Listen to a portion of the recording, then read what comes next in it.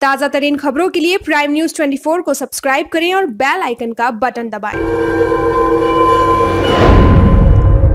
हमारे देश भारत में बहुत से ऐतिहासिक मंदिर हैं और हर एक मंदिर का अपना अलग अलग इतिहास है। ऐसा ही एक मंदिर जिला गुरदासपुर के गाँव झडौली में है, जो बाबा बड़खंडी नाथ जी के नाम से जाना जाता है। इस मंदिर के आसपास काफ़ी बड़ा जंगल है।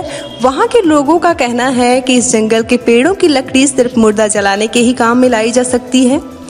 अगर इस जंगल की लकड़ी कोई किसी दूसरे काम के लिए इस्तेमाल करे तो उसके साथ कोई दुर्घटना हो जाती है, जिसमें उसकी मृत्यु हो जाती है।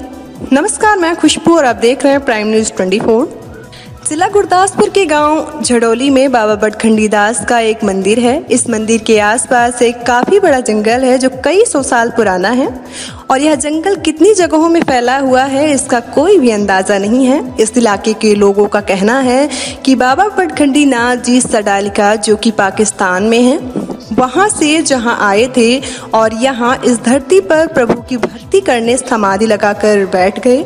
लेकिन गाँव वालों को डर था कि बाबा गाँव पर कब्जा ना कर लें और गाँव वालों ने बाबा को कई प्रकार से अपमानित किया और मारने की कोशिश भी की। बाबा ने क्रोध में आकर इस जगह को जंगल बना दिया और श्राप दिया कि जो भी इस जंगल की लकड़ी काट के किसी अपने काम में इस्तेमाल करेगा तो उसकी मृत्यु हो जाएगी। हैरानी की बात तो तब है कि ऐसे जंगल जो आसपास कहीं देखने को नहीं मिले गाँव वालों का कहना है कि इस जंगल की मिट्टी भी पंजाब की मिट्टी से मेल नहीं खाती। ये मिट्टी हिमालय की मिट्टी जैसी है और ये वृक्ष भी अलग किस्म के हैं। ऐसे वृक्ष कहीं आसपास देखने को नहीं मिलेंगे। यह जंगल हमेशा ही हरा भरा रहता है और पतझड़ में भी कभी नहीं सूखता।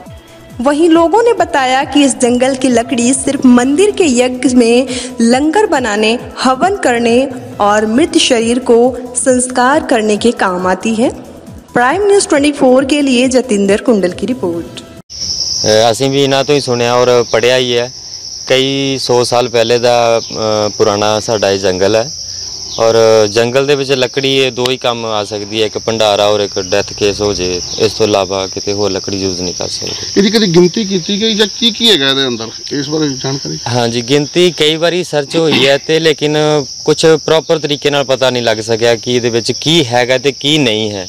ਕਈ ਕਹਿੰਦੇ ਆ ਕਈਆਂ ਦੀ ਕਹਿਣ ਦਾ ਆਇਆ ਵਾ ਕਿ ਇਹਦੇ ਵਿੱਚ ਬਹੁਤ ਕੁਝ ਹੈ।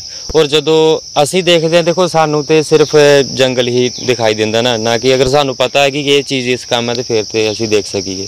ਪਰ ਇਹਦੇ ਵਿੱਚ ਬਹੁਤ ਹੀ ਬੇਸ਼ੁਮਾਰ ਕੀਮਤੀ ਜੜੀਆਂ ਬੂਟੀਆਂ ਦਾ ਰਹੱਸ ਛੁਪਿਆ ਹੋਇਆ ਆ। ਉਹ ਰੀਜ਼ਨ ਕੀ ਹੈ ਕਿ ਜਦੋਂ ਅਸੀਂ ਇਸ ਜੰਗਲ ਦੇ ਪਾਸ ਆਉਂਦੇ ਆ ਜਾਂ ਕੋਲ ਦੀ ਲੰਘਦੇ ਆ ਤੇ ਉਹ ਖੁਸ਼ਬੂ ਜਿਹੜੀ, ਉਹ ਇੱਕ ਅਲੱਗਾ ਹੀ ਖੁਸ਼ਬੂ ਜਿਹੜੀ ਸਾਨੂੰ ਦੇਖਣ ਨੂੰ ਮਿਲਦੀ ਹੈ ਇਹਨਾਂ ਦੀ। ਹਾਂਜੀ, ਸਿੱਧ ਬਾਬਾ ਬਨਖੰਡੀ ਨਾਥ ਮਹਾਰਾਜ ਕੀ ਜੈ। ਇਹ 600 700 ਈਸਵੀ ਦੀ ਇਹ ਜਿਹੜੀ ਘਟਨਾ ਜਿਹੜੀ ਵਾਪਰੀ ਸੀ। ਬਾਬੇ ਹੋਣੀ ਵ- ਸਿੱਧ ਬਾਬਾ ਬਨਖੰਡੀ ਨਾਥ ਜੀ ਇੱਥੇ ਆ ਕੇ ਵਿਰਾਜਮਾਨ ਹੋਏ ਨੇ। ਤੇ ਲੋਕਾਂ ਨੇ ਉਹਨਾਂ ਨੂੰ ਉੱਥੋਂ ਤੰਗ ਕਰਕੇ ਜਾਂ ਉਹਨਾਂ ਨੂੰ ਮਾਰ ਕੁੱਟ ਕੇ ਇੱਥੋਂ ਬਾਬੇ ਹੋਣਾ ਨੂੰ ਦੜਾ ਦਿੱਤਾ।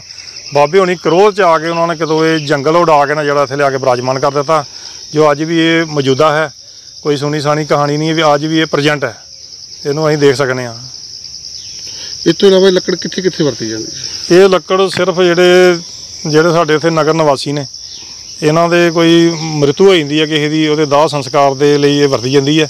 ਜਾਂ ਫਿਰ ਬਾਬੇ ਹੁੰਦੇ ਮੰਦਿਰ ਦੇ ਲਈ ਕੋਈ ਭੰਡਾਰਾ ਜਾਂ ਉਹਦੇ ਧੂਣੇ ਦੇ ਲਈ ਇਹ ਜਿਹੜਾ ਲੱਕੜੀ ਕੰਮ ਆਉਂਦੀ ਹੈ ਬਾਕੀ ਇਹਨੂੰ ਕਿਸੇ ਵੀ ਆਪਣੇ ਨਿੱਜੀ ਕੰਮਾਂ ਦੇ ਵਿੱਚ ਇਸਤੇਮਾਲ ਨਹੀਂ ਕਰ ਸਕਦੇ। ਜੇ ਕਿਸੇ ਨੇ ਕਰਨ ਦੀ ਕੋਸ਼ਿਸ਼ ਕੀਤੀ ਤੇ ਫਿਰ ਕੀ ਹੈ ਅਗਰ ਇਹਨੂੰ ਕਿਸੇ ਨੇ ਵੀ ਕੋਸ਼ਿਸ਼ ਕੀਤੀ ਉਹਨੂੰ ਇਹਦਾ ਕੋਈ ਨਾ ਕੋਈ ਦੰਡ ਜ਼ਰੂਰ ਮਿਲੇਗਾ।